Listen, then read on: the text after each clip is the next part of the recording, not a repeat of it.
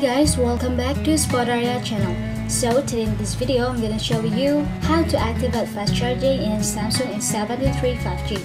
But before you continue this video, as always, I hope you like, comment, and subscribe to support this channel. And don't forget to hit the notifications bell. So without any further ado, let's get started.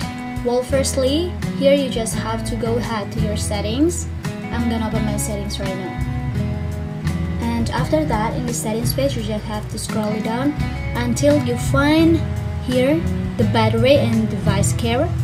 Just tap on it if you find it.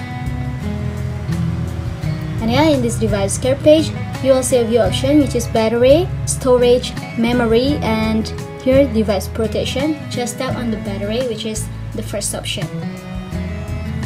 Now in this battery page, you just have to scroll it down to the bottom here and you will see the more battery settings. Just tap on it. And after that, here you will see the fast charging option.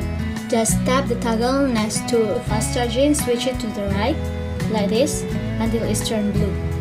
And when it's turned blue, we just activate. Well yeah, just it. I think it's enough guys. Thanks for watching this video. I hope this video will help you. Don't forget to leave your comment in the column below. I will see you soon in the next one and good luck!